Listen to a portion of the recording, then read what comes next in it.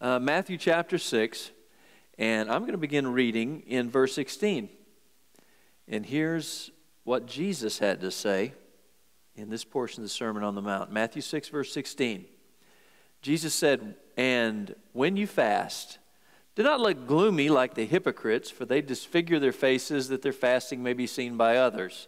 Truly I say to you, they have received the reward, but when you fast, anoint your head and wash your face, that your fasting may not be seen by others, but by your Father who is in secret. And your Father who sees in secret will reward you. God bless the reading of His Word. You now may be seated.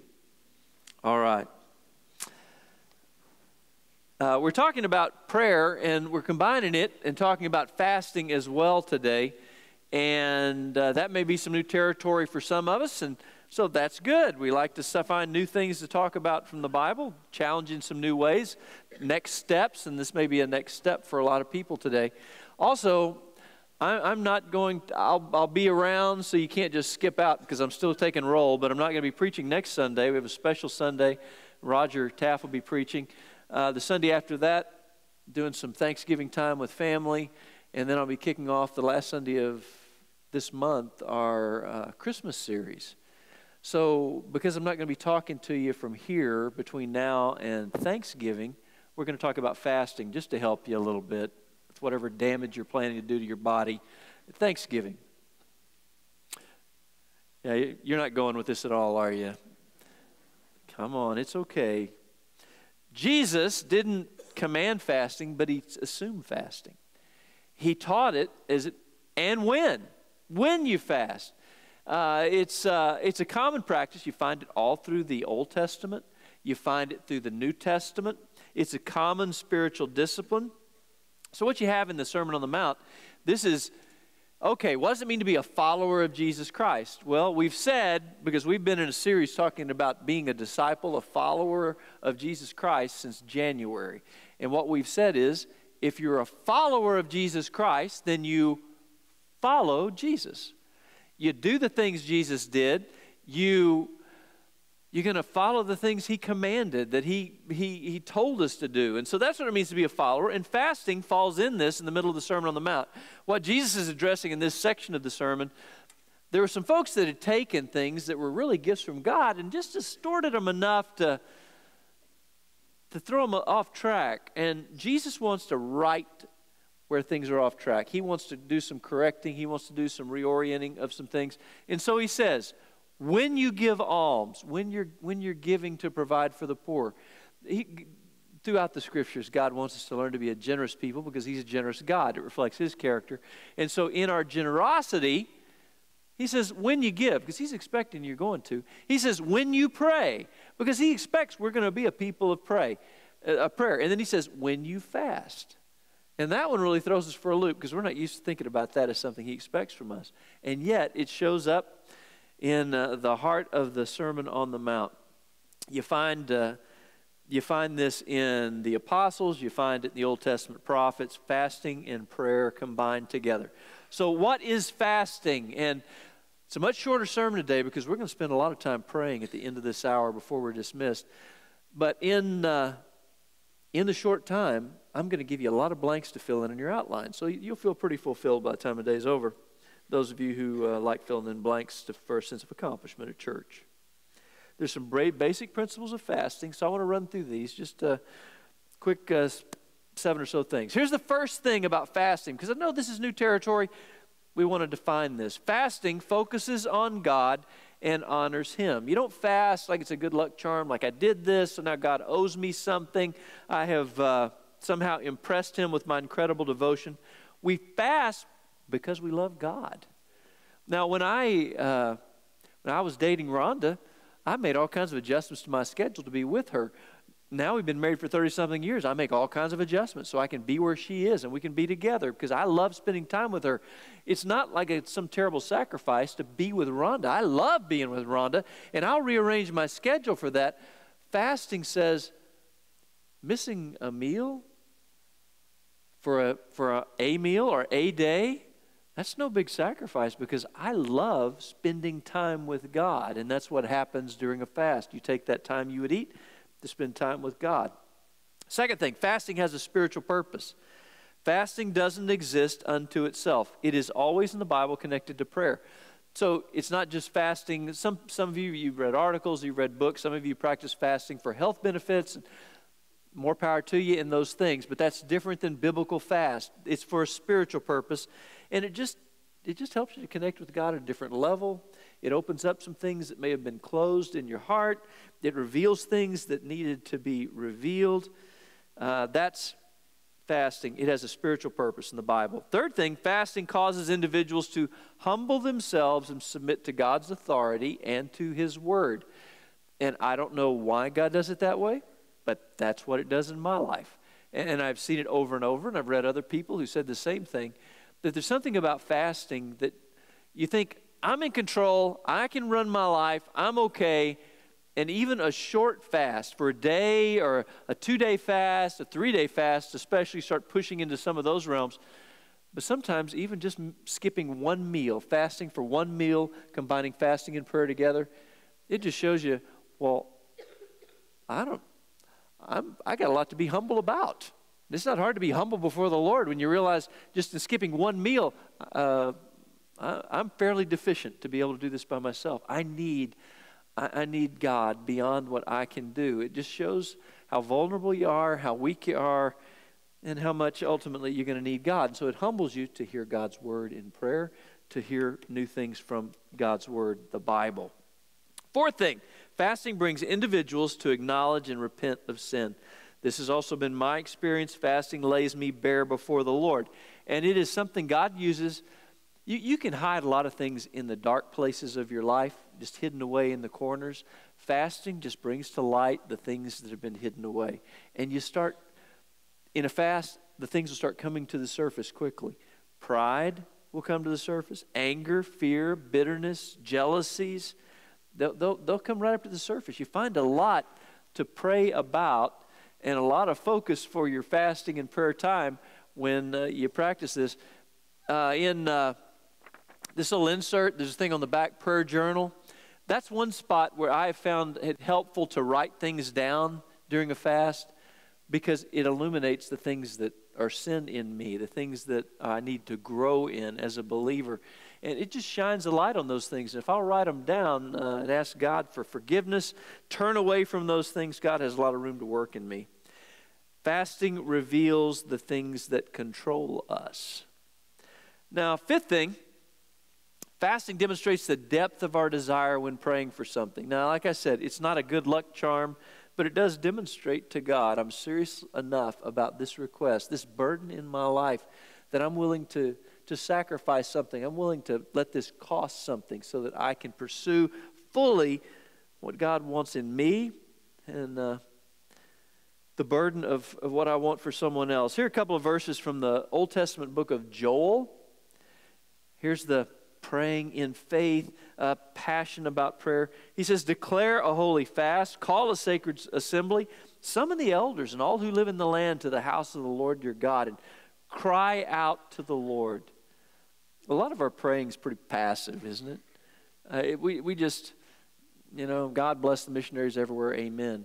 When was the last time you had, you had a prayer burden for somebody or something in your life and somebody you know that it just burned hot enough in you that you it was it was the crying out to the Lord. For a lot of people, been believers a long time, they've never gotten to a spot where say, I, am desperate for God to work in this area.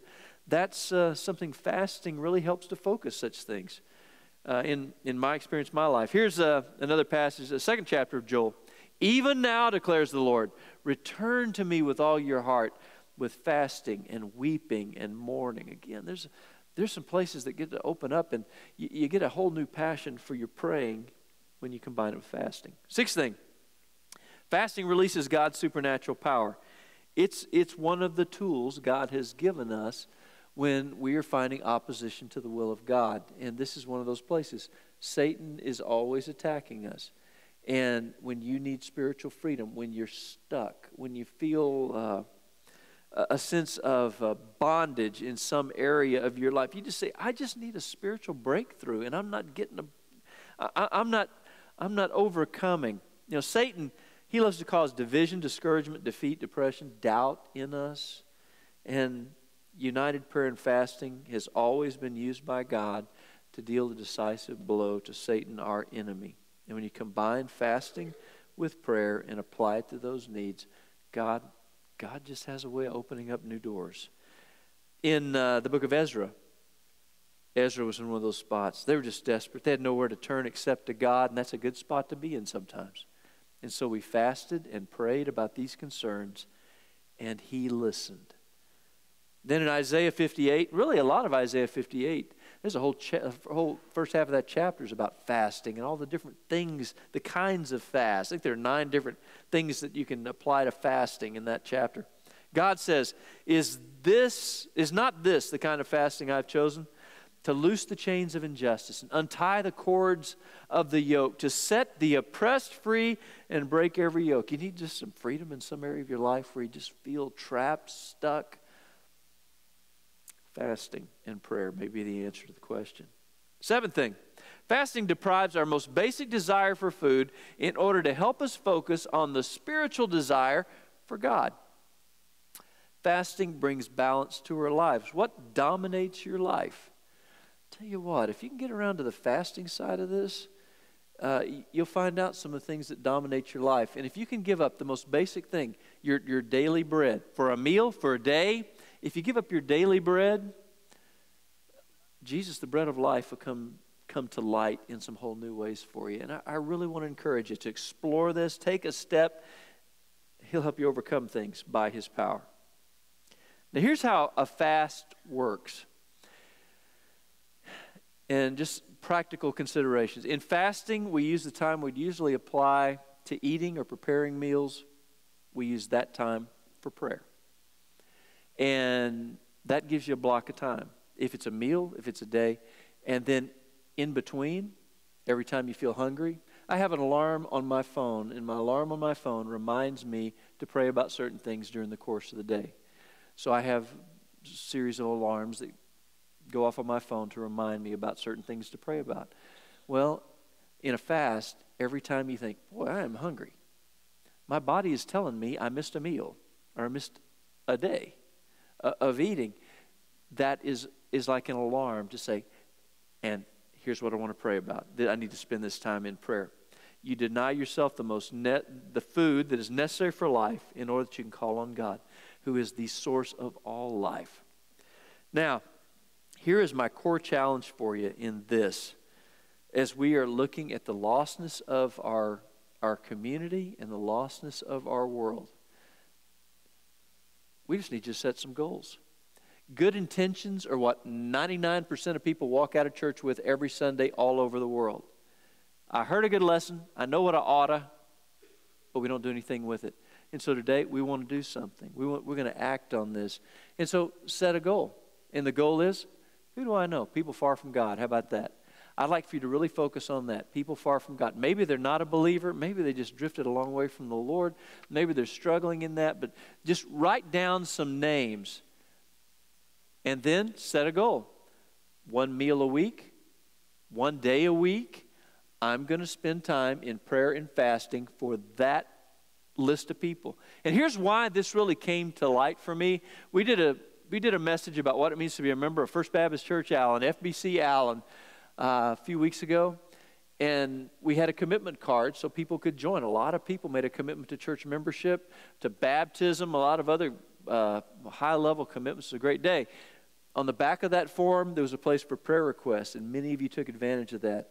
And overwhelmingly, the thing that dominated that list, so many people, pray for my adult children who are far from God. Pray for my parents who are far from God. Pray for my younger kids who are far from God, who are struggling with the relationship to God. Pray for, pray for my neighbors. Pray for my people I work with. You are, and I praise the Lord for a church that has a burden for the lostness of the people in their circles of influence. And we want to keep growing in that. So there are people you know who don't know Jesus. And I'm telling you, one of the things that happens in this with a lot of folks is they get to that that question, they say, Oh, everybody I know is a Christian. Because, I mean, like my neighbors, I mean, they don't go to church, they don't ever read the Bible, they don't ever do anything that Jesus said to do, but they're such good neighbors, they're good folks, I'm sure they're okay. No, they're probably going to bust hell open. And so it's not okay. And God put them next door to you because you know Jesus. Write down their name and say, God, I pray for them, for their losses. I'm going to fast and pray for them. And God, please open a door so I can share Jesus with them. I can tell them a Jesus story. I, I can just say what Jesus means to me. I can share that three circles evangelism presentation that here's the gospel in a simple way that's changed my life, that gives me hope. Uh, all the different ways, but get into that conversation. So write down names. And then some of you, you have great needs. And maybe it's in your life, and maybe it's in someone that you love very much, but it's just big, big stuff and you say, I'm going to I'm going to make this my focus for prayer and fasting. And I'm going to set my goal of when I'm going to do it and the frequency I'm going to do it, how long I'm going to have this goal going. Maybe it's just between now and Thanksgiving. I'm going to choose a day or choose a meal a week that I am going to pray and fast for this particular need. Or maybe I'm going to keep keep doing this until God speaks, until God moves. So make use we're not going to ask for these back. This is for you. So you put this in a visible spot. You make it a regular part of your routine. Uh, keep it focused. Here's that's the core challenge. We're going to pray for the lostness of our city, the lostness of our nation, the brokenness in our nation, for our families, our friends, our neighbors, the people we work with, that their hearts would open up to the power of Christ. Now, fasting consideration. This is just the practical application part of this. Fasting is hard. I mean, it's, it's easier in concept than it is in practice. It is surprising how on edge you will feel when you miss a meal. Some of you, you know, like you haven't eaten since breakfast and you're already leaning toward lunch and it's 11 to 18 and you're already thinking, well, during the week, a lot of times I eat about now. I'm starting to get hungry now. And you, it really does drive a lot in us. Our appetites drive a lot in us. And, and so it's going to be hard to do this. And it's supposed to be hard because it focuses your heart in a different way. It's going to take you in a different route, maybe, than you've done before in connecting with God. So here's some simple things start small. You don't say, well, you know, this, I really do need to practice prayer and fasting. Well, Moses, he went up on Mount Sinai and he didn't eat or drink anything for 40 days and 40 nights. I think that's where I'm going to jump in. That's probably not the place to jump in. That's not the low rung on the ladder. Just choose a meal a week that you say, I'm going to step back for this one meal a week and I'm going to spend the time I'd usually spend eating or preparing a meal. I'm going to block a time, and maybe it's just for an hour. And now, again, in fasting, don't you don't say, "So I'm going to block an hour." So from noon until one o'clock on Monday, tomorrow, I'm going to pray and fast. Now, at 101, I'm going to eat four cheeseburgers, and well, that's not quite what we're looking at here. You, you wait until your regular time for your evening meal. That way, you have the afternoon too. That you are focusing on every time you feel hungry, it reminds you to pray, to focus on whatever uh, God has led you to for your prayer and fasting target. Uh, and again, one meal a day, day long fast, uh, two day juice and water fast, and encourage you toward that. Uh, you know, a juice water fast just means you're abstaining from food and other beverage except for the juice and water, it allows you to get the nutrients you need, the sugar that you need to keep functioning during the day. You want to plan it still. It's not the day, I'm going to run a half marathon today, and oh, I'm going to choose that day as my fast day. Well, that's probably a bad plan. You find, you find the day when it fits into your schedule best for what you're going to be facing in that day. But uh, you want to feel the effects of this. You want to you want to feel the hunger of it. That's a part of what the fast does, and you don't want to miss what God has for you in that. Second thing, plan what you'll do instead of eating. You know, before diving into this fast, you craft a simple plan, connect it to a purpose. That's what this card's for, so that you have a target. This is why I'm fasting. I, have known, I've preached about fasting periodically through the years and talked about what it does, how it works. And I've had people say, "Oh man, I did a fast all day and it just almost killed me, and all I could think about was, oh, I wasn't eating, and and oh man, but I made it through the day." And what'd you pray about? Oh, I didn't pray about anything. I was too busy thinking about how hungry I was all day. Well, that's not. Sometimes it's not prayer and fasting. Sometimes you just went hungry. This, this is a focused time, and if you don't have a target, you're not going to get there. So make it a goal wrapped around a specific purpose. Uh, and then it is also possible fast from something other than food. Fasting from food is not necessarily for other for everyone because of health conditions. Some of you have medical conditions going to keep you from doing a food fast and be threatening to your health. So you need to you need to find something else that you would fast from. However, and the reason I hate adding that to the list, even though that is a factor, is because there are people who go, "Oh, okay, I'm going to fast for one night this week from binge watching Netflix. I'm really going to lay it down for the Lord who laid it all down for me. I'm giving up one night of Netflix. Boy, oh boy, I am sacrificing for the Lord. Well, don't just mail it in on your commitments. The reason food is the only fast listed in the scriptures is because it really gets into your business, because it's so foundational to who we are. And it just reveals a lot of heart and it opens up though a lot of heart to hearing from god in whole new ways and i got all kinds of testimony personally of how god has worked in combining prayer and fasting in my life for specific things that god has laid on my heart and how it, it just adds a new sense of urgency and power to prayer and so don't run from the food fast because it's difficult because it, it is intended by god to be difficult now prayer. Here's my fear with prayer. My fear with prayer is that we talk a lot about prayer, but we never pray. You know how that goes? You know, a lot of you have been in a Bible fellowship group, you've been in a, in a group with Christian friends, and what happens? Somebody says, Oh man, I have this need. And you say, Oh, hey, we'll pray for you. Well, saying you will is not the same thing as praying for somebody. Those are two different things. And when it comes to praying, we can also say, I'm offering up my prayer request. And a lot of people in a group setting will offer up a lot of prayer requests. And then, okay, so that's a lot of prayer requests. So now it's like, uh, Dear God, bless the missionaries everywhere all the time. Amen. That's a little different than praying specifically for certain things and for certain needs. Somebody naming, naming your need before the Lord. And we want to do that today where instead of just talking about praying, we're actually praying and we're praying about kingdom of God things too. I mean, there are needs in your life, absolutely. There are spiritual needs, absolutely. And we want to pray for some things today. So we're going to block some time to actually to actually pray. Now, uh, what do you pray about? Everything. Uh, prayer for special guidance, prayer because it's a time of uh, particular trouble, prayer for healing and restoration, for relationships to be healed. Pray for people you know who are far from God, spiritually lost, quite possibly, maybe just in a spiritual struggle just now. Prayer for those living far from God. Prayer for, for health and wholeness. Prayer for the things related to your work. Prayer for encouragement in your discouragements, in your depression, in the struggles, and and we bury so much of that uh, so so deep. Like it's not you're not allowed to talk about uh, those needs, and yet, boy, God, those things are on the heart of God for you. And he wants us to voice those things to him in prayer. And we're going to challenge you to pray about every need of your life and to ask others to pray for you in those needs. We, we've said our church is a place where it's okay to not be okay because we're not okay. We're all in a struggle. We're all carrying burdens. We're a hospital for sinners, not a museum for saints. And that means that we're going to lift up a lot of things to the Lord together as a church family. We, we're going to pray for, goodness, for revival in our land, God's work in our world. Pray for the persecuted church.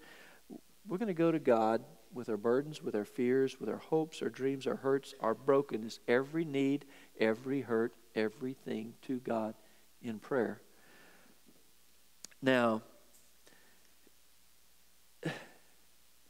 when uh, and we've had prayer times before. We, you know, you've sat in you've sat in uh, class before, and say, okay, it's our prayer time. What what's your prayer request? And we we put we we ask for safe things, and it doesn't mean they're not big things or important things at some level, but we pray for safe things. So I don't want to minimize these things. And yet we're just touching the surface of prayer when we say, well, my cousin's uncle's brother's sister's coworker has a hangnail. We want to pray for that. And you get a lot of those kind of requests at church because we want, we, we probably reveals there's something pretty big going on inside of us, but we're not willing to put it on the table in front of other people, so we, we put something out. We want to get to the something that's deep, deep inside of us today. The things that are really big, the big things. Most adults in America have never had, we've, we've found this at such a high level in our outreach into the community, have never had someone else pray out loud for them. It's powerful when you pray out loud for somebody else, when you have someone else pray out loud for you. And, and so we're going to block some time to, to do that just now. I've asked several of our church leaders to assist in this day, and uh, folks are available around the building. You may, you may just go to somebody. You may go as a group. In the first hour, we had groups of people who came together uh, to ask for prayer for specific things. Uh, you, you, may come as a family, and a lot of people just kneeling at the, at the steps. Uh, we'll have folks scattered around the building to be able to pray out loud for you for specific needs in your life. And, and I know how this goes. We sit in this building and we say, well, those other people probably need it, but I have it all together. And I don't want anybody thinking otherwise about me. I want them to think that I have all the answers and everything is going my way. Well, just so you know, we all know we don't have it all together. None of us do. And that's why we need prayer. And so it just takes a, a little bit of effort to get up from where you are and go and say, Here's where I need some prayer just now. Here's where I need God to intervene in my life. Here's where I need a breakthrough. Here's where I need God to break some bonds that really have me locked down. So, what's going to happen? We're going to have music playing. There'll be verses on the screens uh, to encourage you in prayer. People are going to be moving around. It is okay to move around. It's okay to, to go wherever you want to go, whomever you want to go to to pray but we're going to block time for prayer. Now, I want to add this in. James wrote this about prayer. He said, Is anyone among you suffering? Let him pray.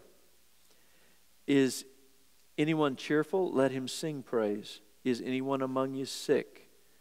Let him call for the elders of the church and let them pray over him, anointing him with oil in the name of the Lord.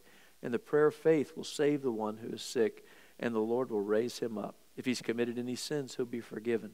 Therefore, confess your sins to one another and pray for one another that you may be healed. The prayer of a righteous person has great power as it's working. Though that said, I'll be over here. Uh, the chairs are set up for this, and uh, we're available. We'll have a team over here that I'll be a part of. We're available to pray for you for healing in those big things that you just need. Uh, you need God's healing touch, and we'll anoint you with oil. Nothing magical about the anointing oil. It's uh, a symbolic thing, a symbol in the scriptures of the Holy Spirit, of the healing power of God. And uh, that's available to you as well if you would like to take advantage of that. What's your focus for prayer? What are your great needs? Why don't we just step out from from our uh, from our closed off comfort and say, God, I I need your help, and I want somebody to pray for me about this, about this about this. And let's see if God might just do some big things and heaven and earth might start moving today for some things that have been stuck for way, way too long.